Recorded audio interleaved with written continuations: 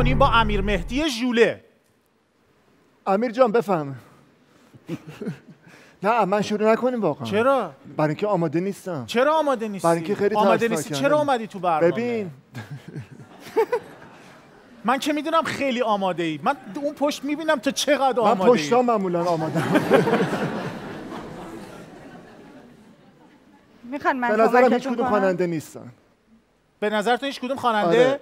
نیستن. یعنی هر دو. خواننده نیستن. نیستن و آقای کارشناس اقتصاد رو حذف کن.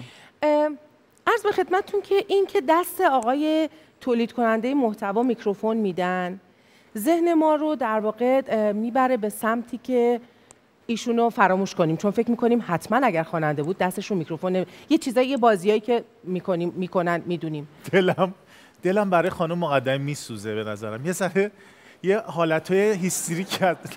دست جواد زاده و اتفاقات. کنم؟ اگه یه بار میگه اگه میکروفون تو دستش باشه یعنی که اینو درست کردن که منو از عذاب بدن. اون یکی نمی- بعد اون پشتم شبنم مقدمی یه دونه میز داره. خب پر از قرصه. یعنی باور نمی‌کنی میای اون پشت. انواع اقسام آرام بخشا هست. آرام آرام. بخش نیست اونا به خدا. ویتامین میدم شما می‌خورید.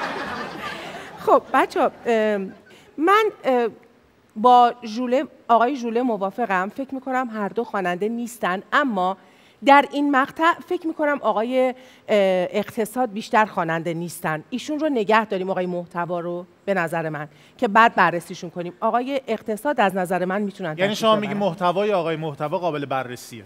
اگه محتوای مثبتی باشه انشالله قابل بررسیه. چون به هر حال. همه جور محتوایی تولید میشه دیگه.